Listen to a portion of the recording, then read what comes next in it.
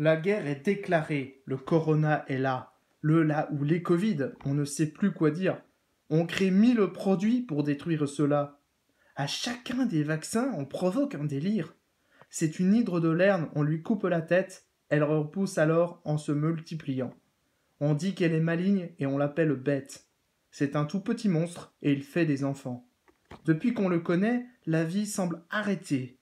On ne va plus parler, ni même voyager. Sauf bien sûr par l'écran, ce mur interposé. Notre vision du monde est sombre et dépassée. Nous vivons une histoire en fait qui se répète. Nous vivons dans la peur, la honte et la tristesse. Restons fermes ensemble et célébrons la fête. Osons rire et chanter pour sortir de la Hesse.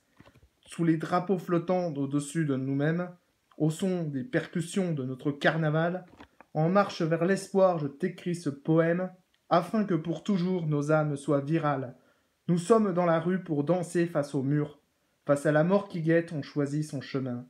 Celle d'un chien en laisse ne me tente point. J'ai choisi d'exprimer mon antidictature.